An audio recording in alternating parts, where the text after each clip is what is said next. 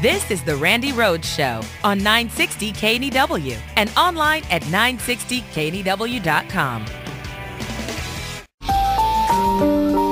Hey there, Republicans. It's us, your old friends at Republican Rehab.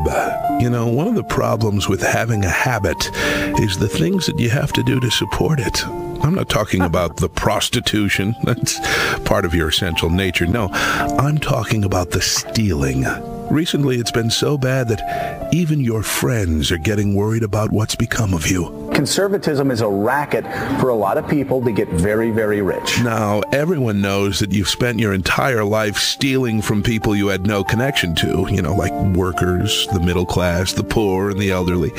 But now you're stealing from the people in your own household. You've been doing anything you can to get them to give you money, including lying to family members. We're going to win by a landslide.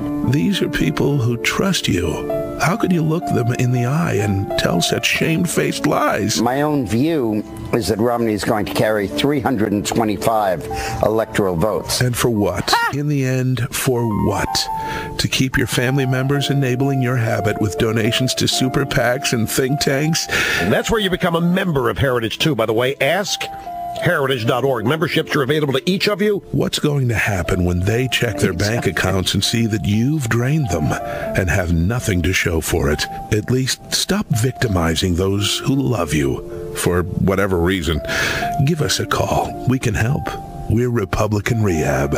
And we don't care what the price of gold is today. Um. You're being scammed. You are. You're being scammed. It, it, is. It's just like the most amazing thing I've ever seen in my life. And then they have the nerve to tell you that uh, the only group that shouldn't be allowed to associate with each other, the only group that shouldn't be allowed to organize, are the workers. Everyone else can organize. Everyone else can, uh, you know, do fundraising. Everyone else can spend their money uh, unlimited without disclosing how much on political donations, how much on, uh, you know, electing presidents, how much on electing candidates. It doesn't. It, they can spend as much as they want, and now they want to spend even more uh, creating a, a, a, giant slop hole of, uh, it's like a well, you know, it's like a well. No matter how much money the grassroots ever gives them, they think of you as uh, marks, as sheep, as dupes. So then they increase the fundraising so that you'll give more. I mean, the Heritage Foundation, there's 18 in senior management, including Dick Cheney's chief of staff, David Addington, is, is, is the, the COO. He's the chief operational officer for Heritage. And Ed Effin Meese, He's at Heritage Foundation. There's 296 freaks on their staff, and there's trustees like uh, Richard Mellon Scaife and Steve Forbes. What do they need with your money? What do they need with your money? They don't need your money.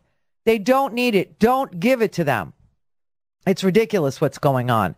I mean, and then what do they use the money for? To sponsor legislation that makes each individual in America uh, unable to organize, associate with people that they feel have their best interests at heart, like a union.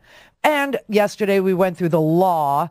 You know, since 1947, it's been illegal to say to somebody, this shop is closed, meaning you have to join the union to work here. You can't do that. It's not allowed.